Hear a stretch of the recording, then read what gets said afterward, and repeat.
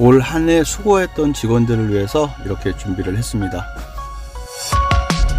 한 해를 마감하면서 직원들이랑 무엇을 할까 좀 고민을 했거든요.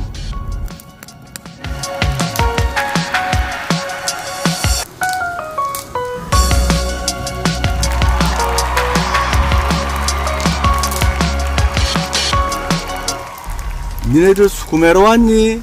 근데 왜 나한테 왔니? 거래처 가서 수금해야지. 아, 형, 형, 형, 형, 형. 여러 가지 꼬치, 고등어, 목살, 그리고 한우, 갈비살!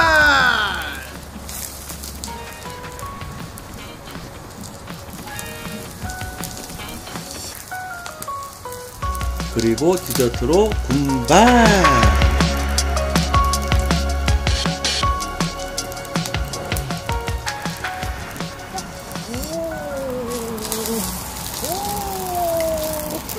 왜 안 섞었어요?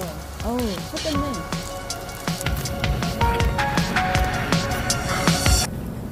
막 존나 맛있다고 막 그래야 돼. 음악은 우리 호상이 많이 먹어. 난 우리 호상이가 너무 좋아. 아니 먹지 않고 씨발 맛있대. 아 이거 깡통 이게 이게 순수 이렇게 내가 주워온 거 그거요. 이 청주 지점 한 해 동안 고생 많았습니다. 당신들이 있어서 롯데제과가 대한민국 최고의 회사가 될 겁니다. 오늘 원래 회사 일찍 끝났어요. 따져올린 거지 종, 종무식, 종무식. 지점 종무식. 그래서 직원들이랑 같이 고기 구워 먹고 뭐 이것저것. 아 근데 저 천안 지점장님께서 추천을 해줬어요. 노브랜드. 와 노브랜드 갔더니 가성비가 완전 짱. 노브랜드에서 그 이거 협찬 들어오면 어떻게 되지? 오늘이 1월 1일이고 내일이 1월 2일이거든요. 근데. 아, 야 지금 나, 나 얘기를 때리면 떠들어.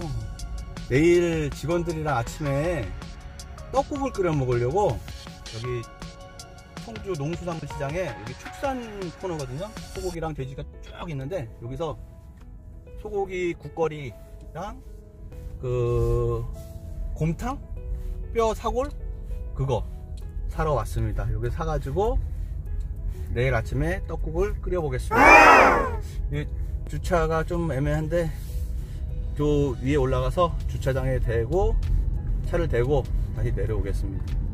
새해는 이거 자꾸 버벅거리는 거좀 고쳐야 되는데 아직도 그냥 발을 맨날 버벅거리고 술 먹어도 버벅거리고 술 안 먹어도 버벅거리고 새해 첫 출근 떡국 끓이기로 시작!